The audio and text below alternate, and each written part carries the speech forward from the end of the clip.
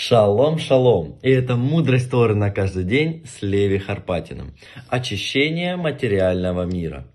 Той же ночью на Якова напал ангел-хранитель Исава. Якову удалось одержать победу над ним. Однако у него получилось повредить сухожилие Якова, взамен на что он потребовал от него ангельскую браху, благословение. И сказал Всевышний Якову, у тебя будет второе имя Израиль, отныне твое имя Израиль. Однако новое имя ни в коем случае не отрицало предыдущее имя, а наоборот добавляло новые значения и качества. Многие люди, мы боимся трудностей. У Якова тоже было их достаточно, но они, именно они, способствовали закалке и духовному росту. Поэтому не стоит их бояться, нужно всегда лишь уповать на Всевышнего. Благодарю за прослушивание. Браха слаха, хорошей недели.